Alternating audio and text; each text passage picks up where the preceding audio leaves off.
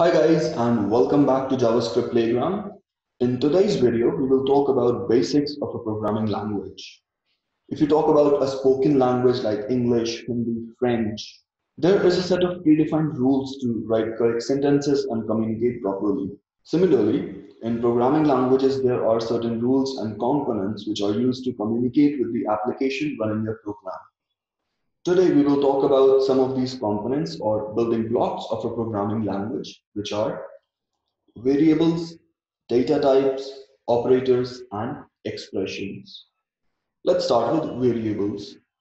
You can think of variables as a way to store some data for later use, or in other words, think of them as containers which hold whatever data you put inside them. For example, say you have three numbers and you want to add and print them on screen. Uh, let's say you have three, five, and seven, and you want to add all these and print them on the screen. In English, you can simply write three plus five plus seven, and the result would be 15. But in JavaScript, first you will have to store them in variables, and then store the result in another variable and print it on a screen. As I mentioned earlier, Variables are like containers. You can hold any value in a container. Say you have different set of numbers now. So you can store those in the same variables by replacing the old values. All right, so let's try creating a variable in JavaScript. So var num1, let's say 2. So let me explain you what this statement means. This num1 is the variable name. It is used to access the value stored in the variable. Uh, this word var is used to tell JavaScript to create a variable by the name num1. This equal to sign is used to store the value 2 in the variable num1. Similarly, let's create it for second and third number.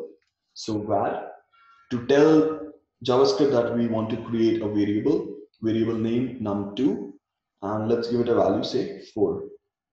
Similarly, let's add the third one. So var variable name num3 and the value 6. Now to add them, we can simply do num1 plus num2 plus num3. Uh, this plus sign is an operator which is used to add two values. Similarly, this equal to sign is an operator which is used to uh, assign some value to a variable. Basically, operators are symbols used to perform some actions on variables. In this case, we are using the plus symbols to add values of all three variables. JavaScript supports many operators like plus, minus, multiply, divide, comparison, etc. We will learn all about operators in the coming videos. So far, we've created variables, we've assigned some values, we've uh, summed it up, but we haven't printed it on the screen.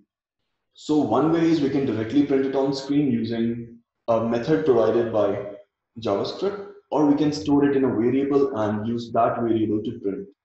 So let's create a new variable, say var sum. Okay, so now let me explain what's happening here. So JavaScript starts executing the code. In the first line, it creates a variable num1, gives it a value 2, in the second line, it creates another variable, gives it a value 4.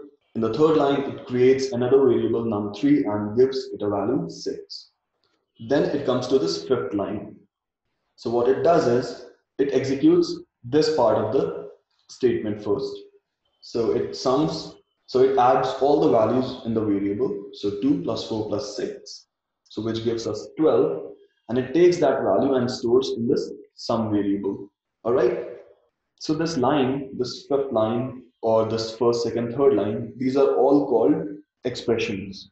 So expression is a line of code which contains a valid combination of variables, values, and operators. So line number five is an expression, line number one is an expression, line number two is an expression, line number three is an expression. All right. So if you see in this line number five, we've got some variables and some operators. So all these combined and they give you an expression. Okay, so moving on to the last step. Now we want to print this in, on the screen. So to print something on the screen, JavaScript gives us a method called console log. So whatever you pass here in between these parentheses is printed in the console screen. So if we pass 100 here, it prints 100 on the console screen. If we pass a variable, it prints the value of the variable. Similarly, if we pass sum here, it prints the value of that variable, which is 12.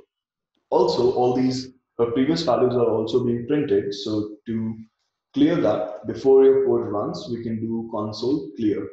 So every time the code is run, first it clears the console and then it prints the next values. So let's save it.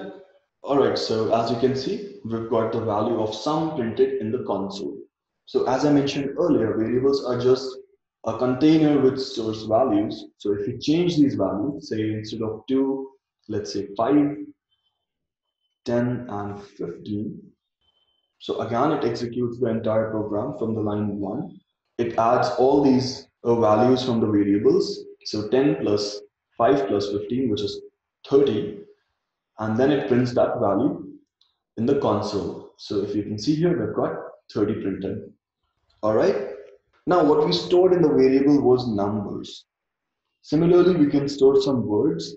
Let's try an example. So let's just comment this.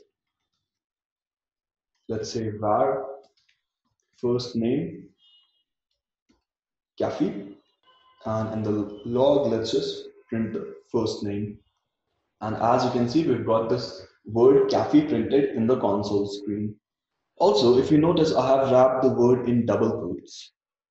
So that's the way to tell JavaScript that this value is a string. We can also wrap it in single quotes. So instead of double quotes, we can wrap it in single quotes. Even then, we get the same value in the console. But you cannot mix and match. You cannot have a double quotes and single quotes or opening single quotes and closing double quotes. So anything that comes in between these quotes is treated as a string.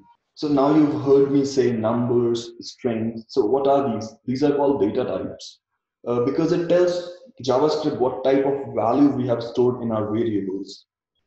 JavaScript also has few other data types like Boolean, arrays, objects, etc. And we will talk about those in the coming videos. I hope this gave you a better understanding of variables, expressions, and operators. If you have any doubt or queries, feel free to drop a comment below and we will discuss it. See you in the next video. Bye and take care.